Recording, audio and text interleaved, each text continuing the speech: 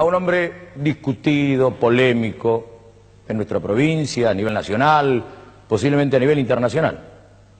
Está con nosotros el general Luciano Benjamín Menéndez. ¿Cómo está, general? Buenas tardes. ¿Cómo está usted? ¿Bien? Bien, muy bien. Bien. Usted sabe que para mí hasta es un poco difícil iniciar este diálogo con usted porque para algunos tendría que estar muy serio frente a usted, cuasi enojado con usted, o para otros será que tengo que estar con una sonrisa.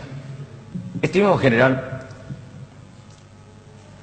dígame una cosa, ¿usted no considera que, que no hubo ningún exceso, que no, no, no, no hubo nada eh, anormal como para que la sociedad argentina eh, se haya sentido eh, ciertamente hasta agredida en las formas, en los estilos que se, que se actuó en aquel momento?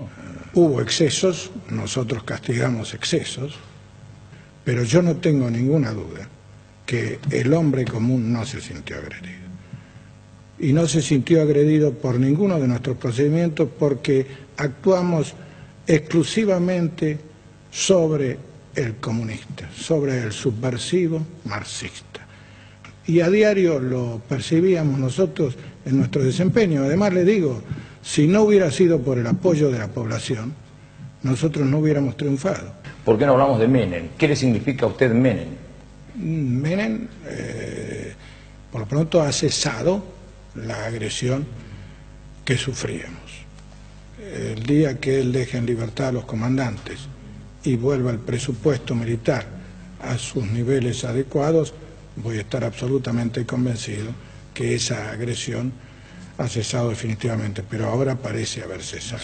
Nombres de, por ejemplo, Madre de Plaza de Mayo. Bueno, la Madre Plaza de Mayo es una organización que la subversión, cuando empezó a sentirse derrotada en el campo militar y empezó a entrever su derrota, estructuró para hacer toda esta propaganda que nos ha venido envenenando la vida a todos los argentinos y tergiversando las verdades desde hace seis o siete u ocho años.